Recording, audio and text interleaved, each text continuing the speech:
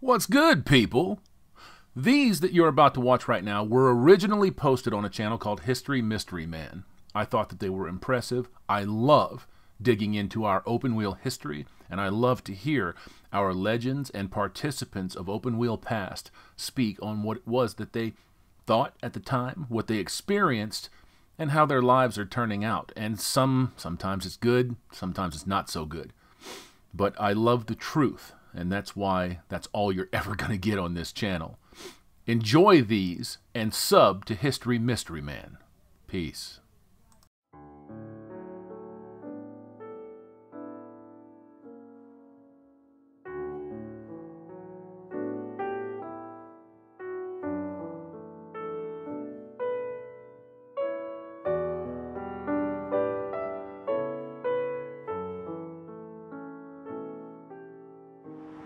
Hey there, YouTubers. History Mystery Man here. Super excited to bring you today the conclusion of the Bettenhausen story and also hopeful you'll subscribe to my YouTube channel at the History Mystery Man. I'd be forever grateful. And while you're at it, you should get the book. It's absolutely fabulous. Uh, uh, it's just the, the collection of photos in here is off the charts amazing. And the stories, too, authored by Gordon Kirby with Merle and Susan Bettenhausen. It's absolutely spectacular. You can pick up your copy at racemakerpress.com, racemakerpress.com for your collection, your copy that is, of this really cool book on Tony Bettenhausen and Sons. In the meantime, please enjoy the conclusion of the Bettenhausen story. Thanks for all the support, everyone. Any regrets? Not a minute. You were... Me? I could probably do regrets on a couple pages, single spaced. You know, I look back over my life, wish I would have went this way, wish I would have went that way, wish I would have had the courage to call this person, and you're, you're No, none. I, you know, when I thought about that, uh, and and it's it's just this is something that most people don't think about. And someone awakened, and not very long ago, being 77, but First off, the best thing is you've, you've got to be, have your health. You've, you've got to have been Numero reasonably uno. smart in your life. Uh, and this goes two different ways. It's like somebody says, well, how, how's it feel now, Merle, to be, to be old? And I said, first off, I'm healthy enough that I don't feel old, okay? And then the next thing is it's such an honor to be old. Just think of all the people you know Who didn't get never there? had the opportunity. Your father. old. Yeah, to get old. So, so this is this is not a bad thing. This is this is a badge of honor to be able to enjoy being old. I can't think of anything that I did that I'm not responsible for. Well, except, except the prostate cancer. But most of my life leading up to the prostate cancer, I've earned. I did it. Mm-hmm. And you hear so many other people say, "Oh, it wasn't my fault. I, I had nothing," you know. And uh, and people that you know weigh 250 pounds or that they're ill of health, and it's mostly because they got high blood pressure pills or they got cholesterol pills, so their their poor body doesn't know, you know, what which drug to to influence them at that particular moment in time, and and and so mo- most of now you know I'm a veteran too. I, I I know. I saw. I did not know that. Uh, I knew a lot about you, but I didn't know that part. I saw the photo in the new well, book. that's why we're so far behind Gary. You were an army veteran. Yeah, because Gary, see Gary, here's a, we're farming the farm. Well, Gary gets a little girl pregnant and they have a baby, and this is in in the uh, mid '60s. Well, you had three chances. If you were a man when Vietnam was starting to pick up, here, here's what you had. You you could be married with a child and be exempt. You could be a full-time college student, full-time, taking, I didn't go to college, so how many hours is full-time, but whatever that was. Or you got drafted. Unless there was some extenuating circumstances, which I had because the, the first year they tried to draft me, I was, Gary left the farm and I was the only one doing the farming. So, so I got exempt status because I was the sole supporter of the, my, my mo- mother and kid, or kid brothers and sister. Well, I didn't want to do that all the time, so, uh, and they're after me.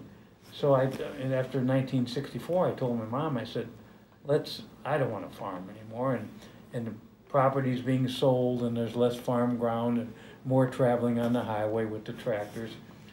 So we had a sale in, in January of 1965, and I immediately went to the draft board and said, I want to be, I, I want to volunteer for the draft right now. So, so I went in, I went in the Army, basic training at uh, Fort Knox in, uh, I went in on March 16th, 1965.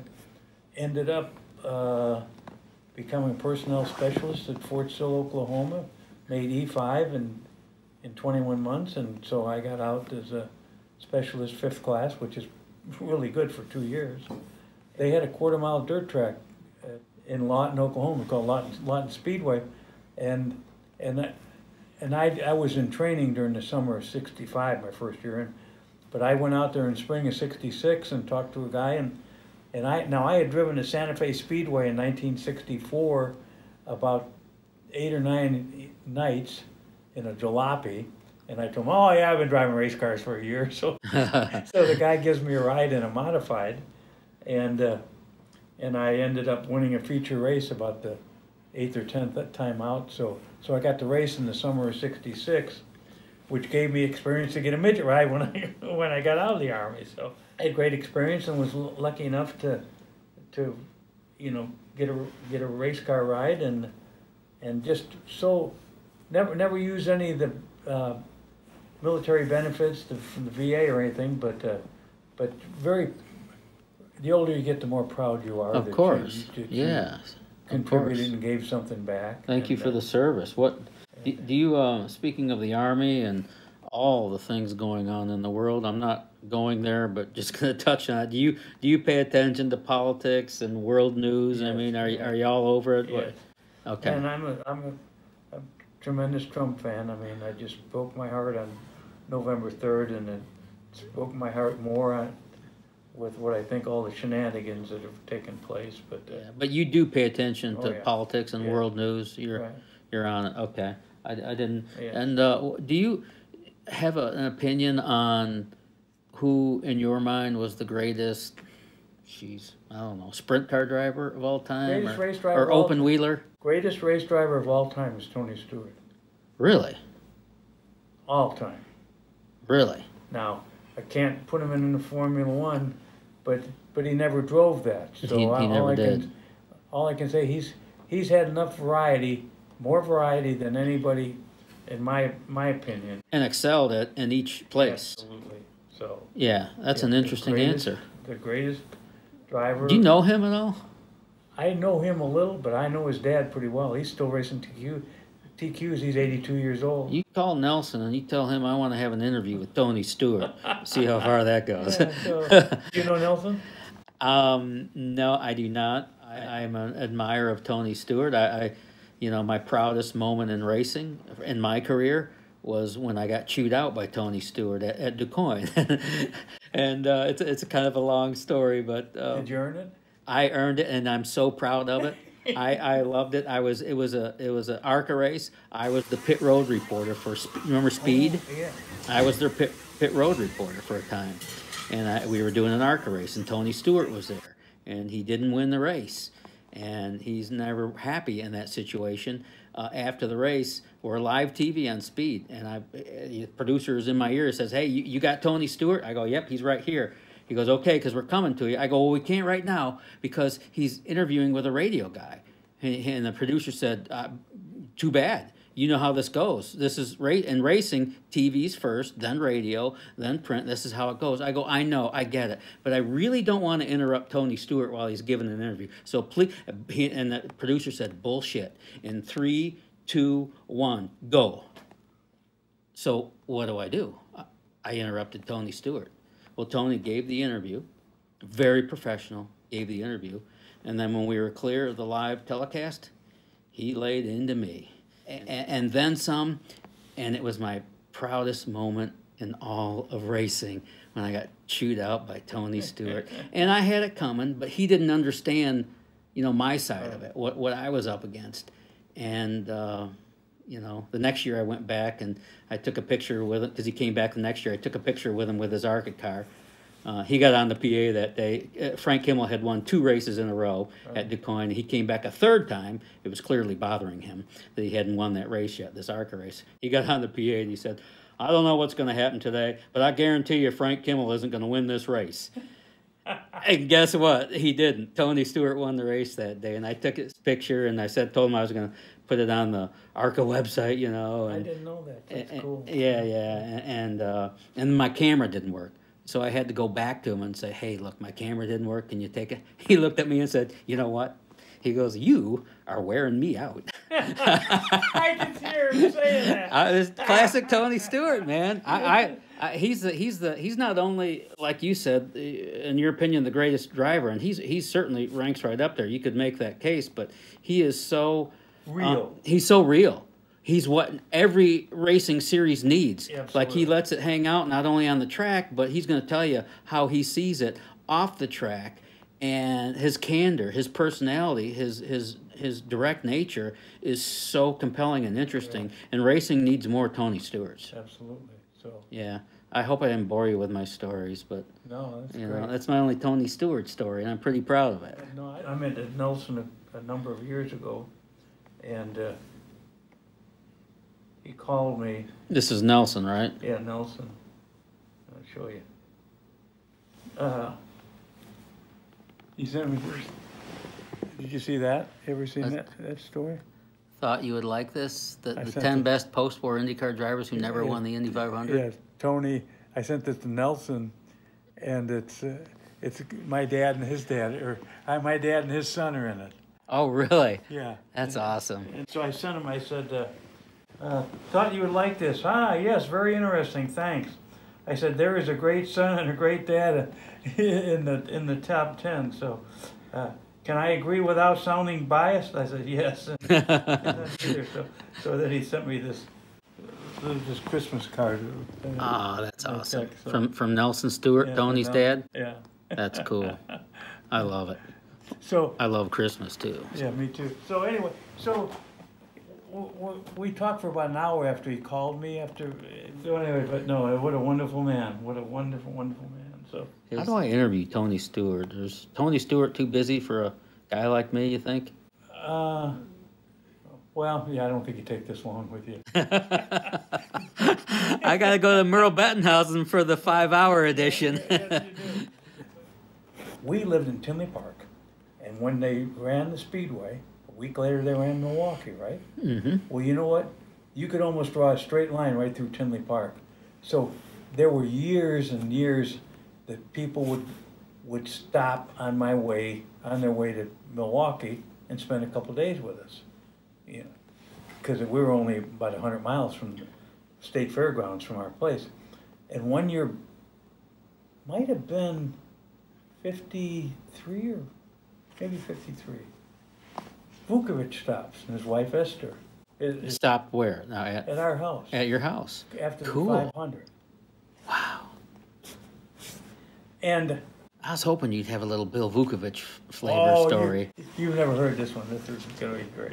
So, so he stops there, and, and of course our kid, you know, Gary and I are there, and we're they're 13 and 15, he's- and Vukovich goes. Was that a big deal for you guys as kids to have Bill Vukovich come over to your No. house? No. Okay. he wasn't as big as our dad.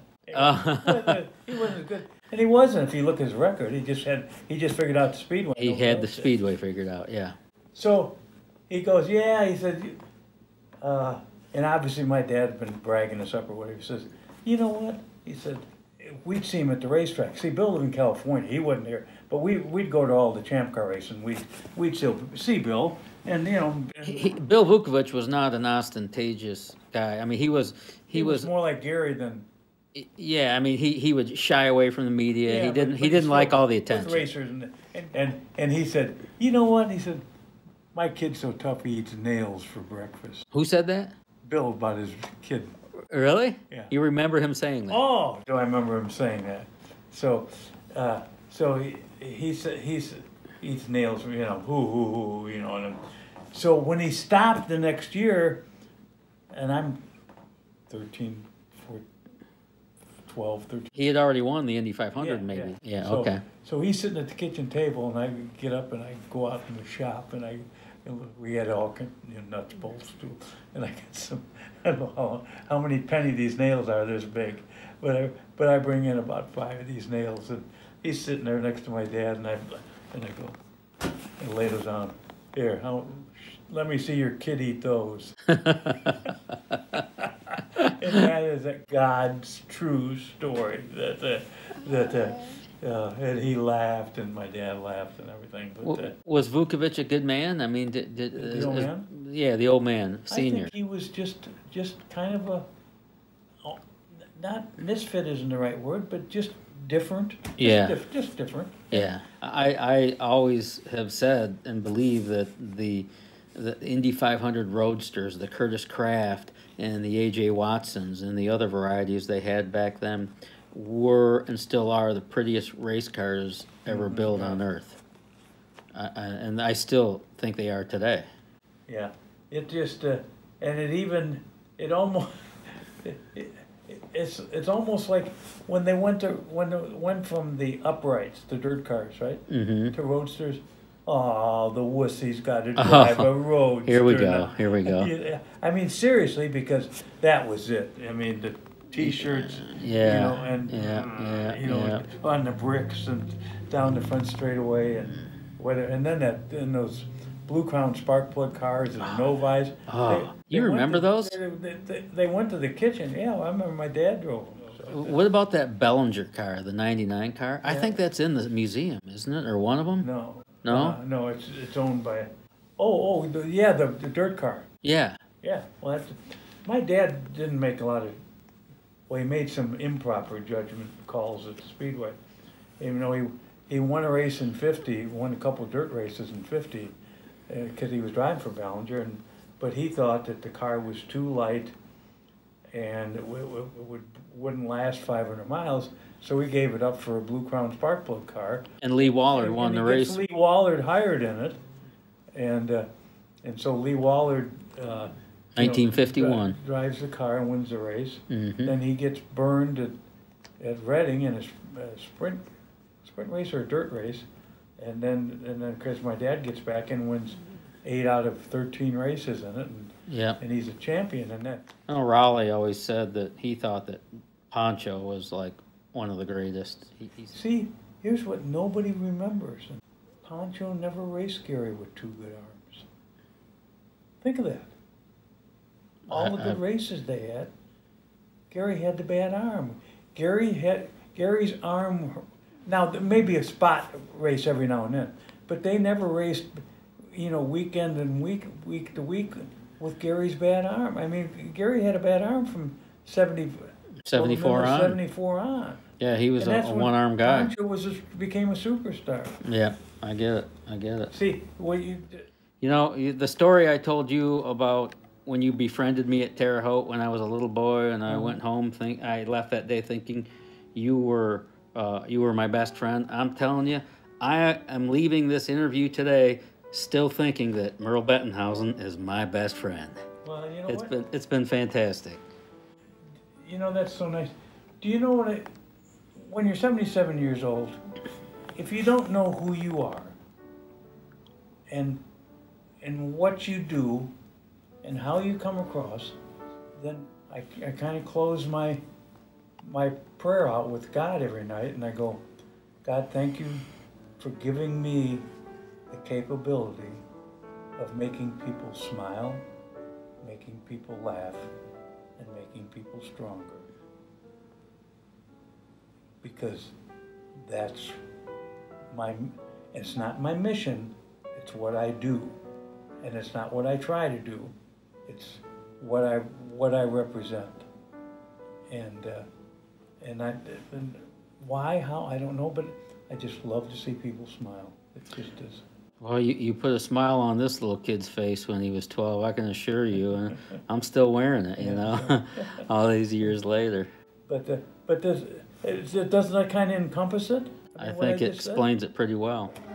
My only goal in life, with everything I did, I tried to be better than the people that surrounded me. And uh, I, I tell this story to young people that just outperform everybody that's around you. It's a, it's a, it's a, it's a goal you can have it at, no matter what you do Or who you are. or who you are, what your what your goal is, whatever else. And if you decide that, oh, I, I did okay, I don't want to do that anymore, you can still have another goal by doing something else and being the best at whatever else you do. So, just my my thinking is very simplistic, but it's it's reaching for the best.